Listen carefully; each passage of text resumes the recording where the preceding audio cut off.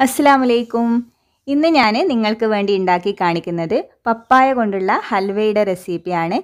ഇതിനു മുമ്പ് പപ്പായ കൊണ്ടുള്ള നല്ലൊരു പുഡിങ്ങിന്റെ റെസിപ്പി ഞാൻ അപ്ലോഡ് ചെയ്തിട്ടുണ്ട്. അത് കാണാത്തവരുണ്ടെങ്കിൽ കാണുക. അപ്പോൾ നമുക്ക് ഈ ടേസ്റ്റി ആയിട്ടുള്ള ഹൽവ എങ്ങനെ ഉണ്ടാക്കാമെന്നൊന്ന് കണ്ടു നോക്കാം. ഹൽവക്ക് വേണ്ടി ഞാനിവിടെ നല്ല പഴുത്ത പപ്പായ കഷ്ണങ്ങളാക്കിയത് ഒരു കപ്പ് എടുത്തിട്ടുണ്ട്. ഇതിലേക്ക് കാൽ കപ്പ് വെള്ളം ഒഴിച്ച് ഒന്ന് വേവിക്കാൻ വേണ്ടി വെക്കണം. ഇപ്പോൾ വെള്ളം ഒന്ന് തിളച്ച് തുടങ്ങുന്ന സമയത്ത് ഫ്ലെയിം ഒന്ന് ചെറുതാക്കി കൊടുക്കുക. ചെറിയ ഫ്ലെയിമിൽ വെച്ച് വേണം വേവിച്ചെടുക്കാൻ പഴുത്ത പപ്പായ ആയതുകൊണ്ട് പെട്ടെന്ന് വെന്ത് കിട്ടും. ഇതിപ്പം വെന്ത് റെഡി ആയിട്ടുണ്ട്. ഇനി ഫ്ലെയിം ഓഫ് ചെയ്ത് കൊടുക്കുക. ഇനി ചൂടാറിയതിന് ശേഷം ഇതൊന്ന് സ്മാഷ് ചെയ്തെടുക്കണം. ഇപ്പോൾ ചൂടാറിയിട്ടുണ്ട് ഇനി നമുക്കിതൊന്ന് സ്മാഷ് ചെയ്തെടുക്കാം. നല്ല പഴുത്ത പപ്പായ ആയതുകൊണ്ട് പെട്ടെന്ന് സ്മാഷായി കിട്ടും. ഇനി ഫ്ലെയിം ഓൺ ചെയ്ത് ഇതിലേക്ക് അരക്കപ്പ് പഞ്ചസാര പിന്നെ അരക്കപ്പ് പാൽപ്പൊടി ഇവ ചേർത്ത് നന്നായി ഒന്ന് മിക്സ് ചെയ്ത് കൊടുക്കുക.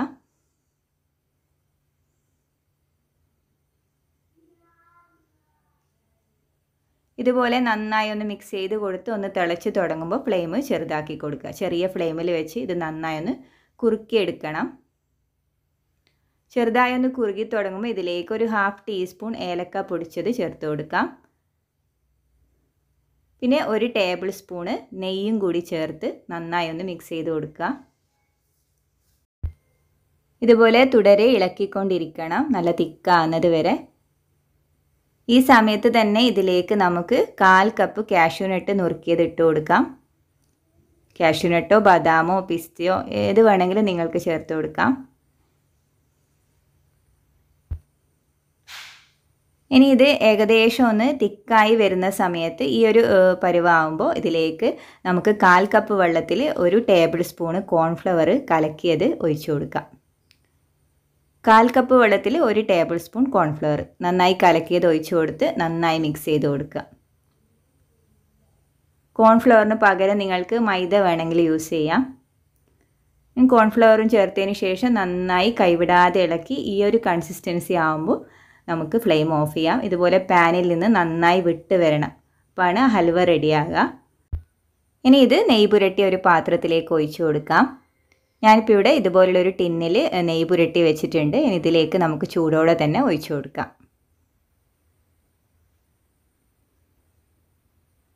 ഒഴിച്ചു കൊടുത്തതിന് ശേഷം ഇതുപോലെ നന്നായി ഒന്ന് ലെവലാക്കി കൊടുക്കുക.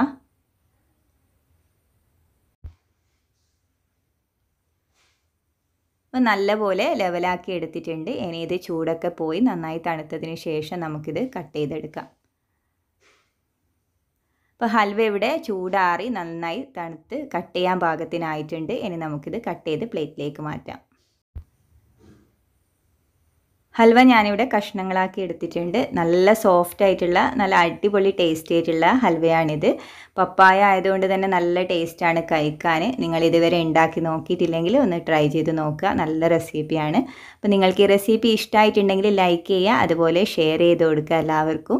പിന്നെ എന്റെ ഈ ചാനൽ ആദ്യമായിട്ട് ആരെങ്കിലും കാണുന്നുണ്ടെങ്കിൽ നിങ്ങൾക്ക് ഈ ചാനൽ ഇഷ്ടമായിട്ടുണ്ടെങ്കിൽ സബ്സ്ക്രൈബ് ചെയ്യാൻ മറക്കല്ലേ?